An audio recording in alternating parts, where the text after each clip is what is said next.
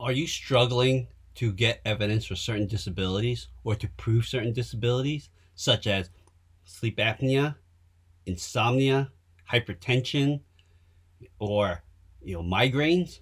Welcome to Battle Buddy Ben, and in this episode we're going to go over a couple of ways that you can create evidence on your own outside of your medical records to prove that you have certain disabilities. Let's get started.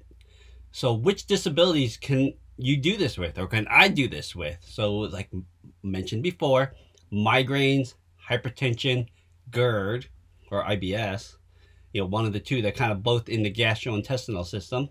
Chronic sinusitis or rhinitis, sleep apnea, insomnia. These are just examples. You can do this with a lot of other ones, but these are the ones that are more commonly you know, claimed for by veterans if you're finding this information useful and helpful, hit the like and subscribe buttons below this video to let other veterans and friends and family of veterans to find this video and get their questions and concerns about this topic answered. Also check out more content like this here on the Battle Buddy Ben YouTube channel. Then check out my website. It is battlebuddyben.com. I have a lot of great links, templates, and information about the VA disability claims process on there. There are really two ways to create evidence for yourself to, to prove that you have certain disabilities. I've used them both.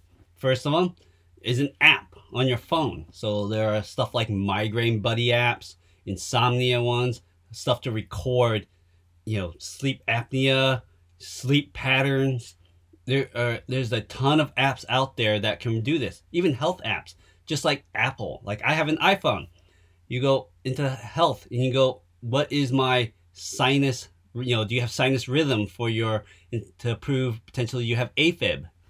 And there, there are ways to do this, so heart rate monitoring, weight monitoring, all sorts of stuff to prove that you have, you know, a certain disability. So you can use this evidence, you can export it and or take screenshots to show the doctor that can then use it or the VA rater to show that you have these. So I, I have used the migraine app. I get headaches all the time, more than once a week. And I've used that app to prove that I have headaches and it belongs at this rating level. You can also keep a log on your computer. So your computer also can do this. You can use Excel. I've done that. I've kept a log in Excel for hypertension. Take my blood pressure using a machine like like this and that the VA is willing to give you for free to, in taking that daily, if not weekly, because the requirement is two readings each day for three different days. So you can do three consecutive days. You can take one day a, a week. I, I highly recommend you space it out a little bit more to show that it is not just this one time in this one week that it's you have it for you know it's not it's chronic versus acute. So you can use your computer to do that. You can use your computer to take a log of each time that you had insomnia or that you had a panic attack or that you couldn't do something because of a mental disorder.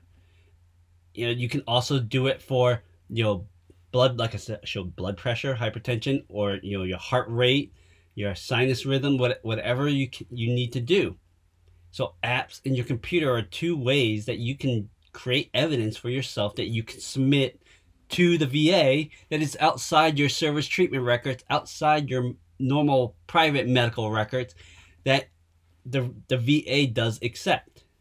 And it's because it is a program and you're you're using this and you can discuss this with your your doctor, you can have that evidence, this other evidence, and it should match up to what your doctor is saying. And so now you have both and just strengthened your case. But what do you need? So on top of all this evidence, you need that current diagnosis. You need that diagnosis of having insomnia, sleep apnea, hypertension, whatever the case is. That description of in-service occurrence if you're trying to ser direct service connect it.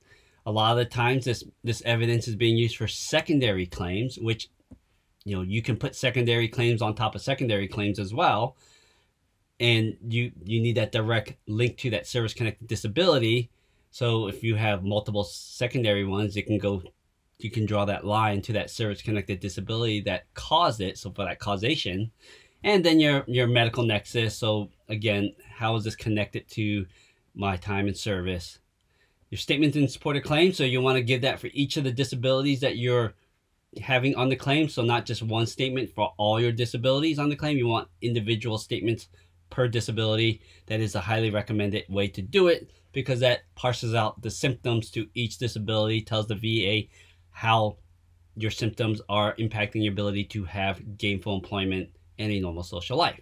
If you have any comments or questions about this topic, please place them in the comments section or send me an email at contact at battlebuddyben.com. If you like what you viewed, hit that like and subscribe button to let others know about this video and the YouTube channel where you'll find videos just like this and much more about the VA disability claims process. Also, check out my website. I have a lot of great links, templates, and information about the VA disability claims process on it. The website is battlebuddyben.com. It is also on the screen. Keep working hard and good luck with your claims.